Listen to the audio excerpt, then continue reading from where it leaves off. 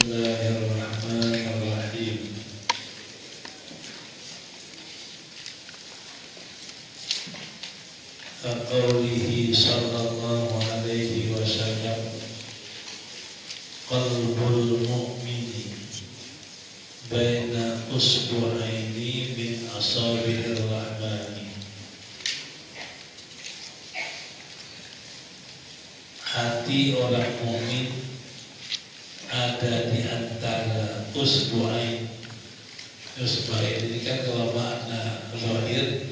dua jari hati mukmin ada di antara dua jari daripada jari-jari Allah yang bersifat rahman in lau fatasna an qulubil mu'minin karena jikalau kita memeriksa fatasna kita mencari dari hati mukmin. Falam najid fiha asabiha. Maka kita tidak mendapatkan dalam hati-hati mukmin jari-jari. Jari-jari Allah. Fa'ulima maka diketahui annaha kinayatun anil qudratin lati hiya sirrul asabi. Jadi setelah kita kenali di hati tidak ada jari, maka di situ diketahui sabda Nabi Ashabi Rahman bahwasanya kinayah kinayah kinayah mengandung makna lain. Kinayah nyindir dalam bahasa kita. Nyindir ngomongnya begini tapi maknanya begitu. Itu nyindir namanya iya.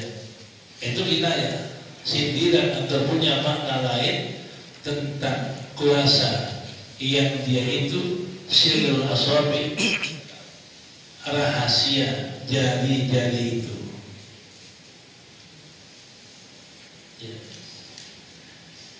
Waruhuhal khafiyu. Dan rohnya yang tersembunyi. Wa kunniya bil asabihi minal, minal kudrati dan dimanakan dan disindirkan dengan jari-jari dengan jari-jari dari makna kudrah nadzalika a'zama. Karena yang demikian di anna dalika a'lamu. Karena yang demikian lebih besar. Wa'an fi tafahumi tamamil dari tamamil iktidari karena yang demikian itu lebih masuk lebih meresap lebih jatuh di dalam memahami tamam kesempurnaan iktidar kekuasaan itu. Amin hadar habis. Jadi kalau kita lihat hadis Nabi Kulubul mu'min bayna asab bayna asab usbu'aini bin asabi rahman. Hati mukmin ada di antara dua jari dari jari Allah. Kata Imam Walid coba kita cari di hati mukmin ada nggak jari di sana? Nggak jari. Jadi kalau kita lihat mana yang ada, tentu mana lain, kinayah. Nah, yang paling dekat kinayah itu adalah jari mampu dan kuasa untuk merubah sesuatu. Makanya dimanakan asobi itu adalah di bawah kekuasaan Allah. Yang bisa merubah hati hati mukmin kadang-kadang saadah kadang-kadang syakawah. Kadang-kadang ibadah kadang-kadang maksiat makanya kita doanya ya muqallibal qulub sabit qalbi ala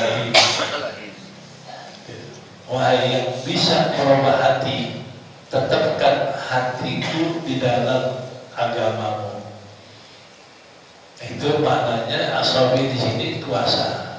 Nah inilah yang dikatakan kadang-kadang ada yang gak paham sabda Nabi kalau dia tidak mendalami makna kinayah Tidak ada lagi. Idza arada syai'an ayyakula lahu kun fayakun. Apabila Allah menghendaki suatu, berfirman Allah kun fayakun. Maka Imam Ghazali nanti membahas kun. Jadi kun ini kan khitab. Sedangkan barang yang belum dijadikan masih maklum atau maklum bisa diajak ngomong Kun macam ngomong yang madu belum ada. Bayang itu baru ada. Ada lagi bahasan kedua. Kun ini adalah. Kalam itu ta'alumnya adalah nunjukin. Nunjukin. Bukan nyiptain. Nah, nunjukin maknanya apa? Kurni menunjukkan semudah pun Allah jadikan apa yang dikehendaki. Secepat orang berkata pun secepat itu Allah ciptakan apa yang dia kehendaki. Akan kita maknakan secepat pun Allah jadikan alam. Kayak apa kekuasaan? Ini langit, bumi, semua alam dijadikan Allah sedetik kurni Kira-kira kayak apa kekuasaan? Kita bikin masjid berapa lama? Eh, tapi Allah bisa bikin semesta ini secepat berkata kun. Ah, bagaimana kuasa Allah? Gak mampu kita membayangkan menghitung kekuasaan Allah. Itu berarti dalam kata-kata kun ada yang tak paham. Kalau zahirnya nggak mungkin karena kun hitam, sedangkan barat belum menjadiin, bisa nggak ada yang ngomong? Nah ini di antara ada firman Allah, ada sabda Nabi yang nggak dipaham oleh kita. Kecuali kita paham yang dapat dari Nabi, yang dapat dari ulama. Itu salah satu contoh Qulubul mu'min baina usbu'aini min asabi'ir rahman. Hati orang mukmin ada di antara dua jari dari jarinya Allah. Ya, bukan Allah punya jari. Coba kalau dicari kita perlu cari cari hati mukmin ada nggak? Ya, ya. Nah itu harus sama. Ya. Wa min hada al-qabil Lianna dalika a'zama wa'ad Karena bahasanya dengan sindiran itu lebih besar. Jatuhnya dalam pemahaman Dalam dalam pemahaman sempurnanya kekuasaan. Itu dengan sindiran usbu'ain itu lebih dipaham lebih dipaham untuk betul-betul Allah punya kekuasaan itu tamamil iktidar. Wa min hada wa min hada qabil dari segi ini kina fi lagi ini fi kinayatihi ada iktidar. Dari segi ini ati usruain itu kinayah di dalam kekuasaan Allah. Ya. Qauluhu ta'ala yang tadi saya katakan innama qauluna li syai'in idza aradna lewat ya. Betul ya? Ya kun bayakun tadi ya. lewat tadi. Wa min hada dari sini. Wa min hada qabil dari segi ini di dalam kinayahnya firman Allah anil iktidar. Di dalam uh, dari kekuasaannya qauluhu innama qauluna li syai'in idza aradna anna lahu kun fayakun ya terus tidak ada saya ayat kita jadi innama hanyalah perkataan kami disayin bagi sesuatu apabila kami menghendakinya maka annakula kami berfirman baginya bagi sesuatu itu kun jadilah fayakun maka jadilah ia kata Imam Ghazali fa inna dhahirahu mumtaniun. Karena bahwasanya makna zahirnya tertegah tertegah nggak bisa kita paham. Kenapa? Il qawluhu kun karena perkataan kun itu in kana khitaban di syai'in. Jika, jika ada khitaban mengajak bicara bagi sesuatu mengajak bicara bagi sesuatu ya qabla wujudi sebelum adanya bahwa muhammad mustahil di belum ada. Allah ngomong kun. Bisa nggak lagi ngomong orang yang belum ada? Mustahil kata Imam Ghazali ya, mustahil. Ida idil ma idil ma idil ma'lumu la yu la yafhamul khitaba. Karena barang yang nggak ada tidak paham khitab tidak paham pembicaraan hatta yang tafila sehingga dia bisa menjunjung perintah itu. Itu Imam Ghazali. Nah, jadi ulama juga ada bahas kun dari segi adalah kalam. Kun itu kalam. Kalam nggak bisa menjadikan. Kalam darah nunjukin. Maka nunjukin apa? Kun semudah orang berkata kun semudah itu Allah ciptakan apa yang dikehendaki Nah, secepat berkata kun, secepat itu pula Allah ciptakan alam. Orang bilang kun berapa lama? Kun paling sedetik kurang. Nah, pemahamannya Allah bisa jadikan alam ini dalam ukuran sedetik dan mudah. Gak ada yang sulit sama Allah. Ini makna itu yang tadi. Wa in kana ba'da wujud. Nah, balik kun ini ngajak ngomong yang ba'du. Enggak bisa ngajak ngomong yang ba'du. Wa in kana ba'da wujud dan jika ada setelah wujudnya fa huwa mustaghnin anit takwil. Nah, kalau dia bisa ada, dia terkaya daripada mengadakan. Kalau barang tak ada, dia ngomong nggak bisa. Kalau tidak ada, buat apa dia ada lagi? Itu. Kalau barang udah ada nggak perlu diadain lagi.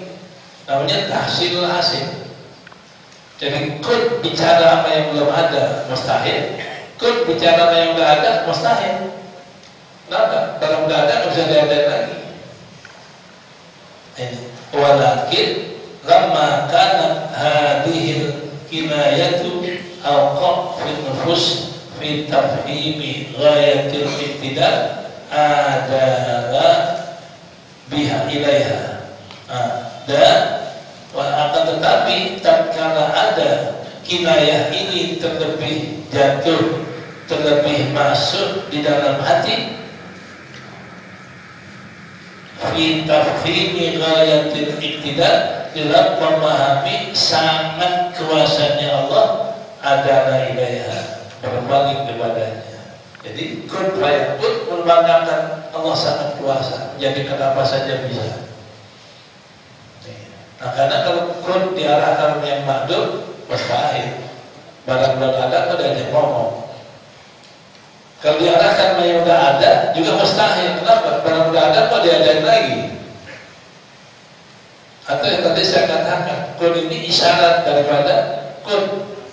Seukuran orang ngomong kun, seukuran itu Allah bisa jadikan kun sedetik. Kalau bisa jadikan alam sedetik. Itu dilarang Oke, orang main sulap sim salabim ngomong salabim tapi kerjaan tangannya.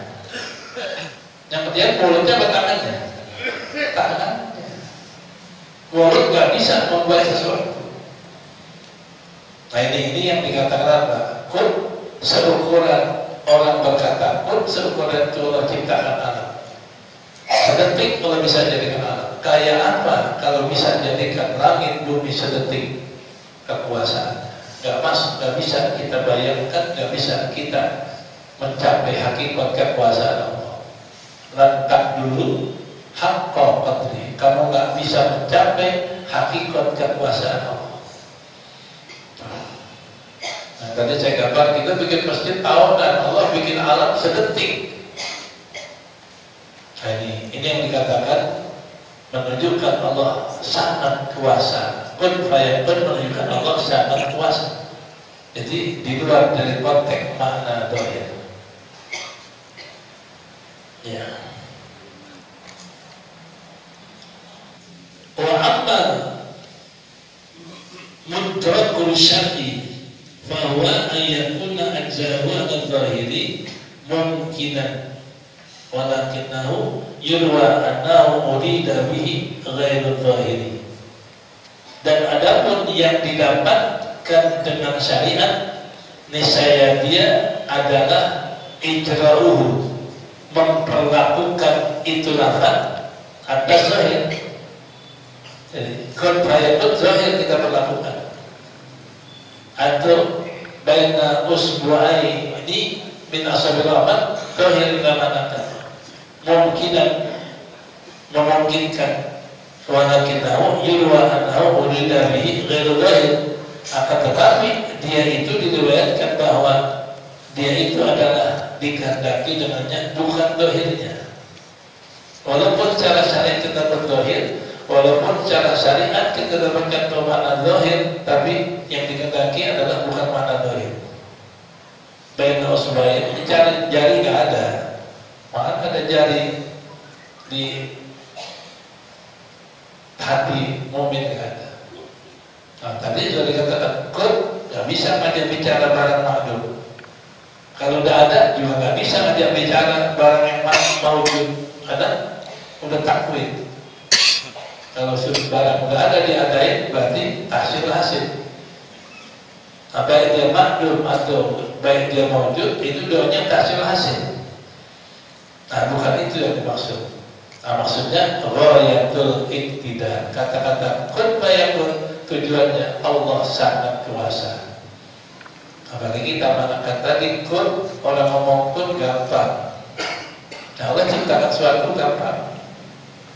Orang ngomong kun cepat sedetik. Allah jadikan sesuatu sedetik bisa.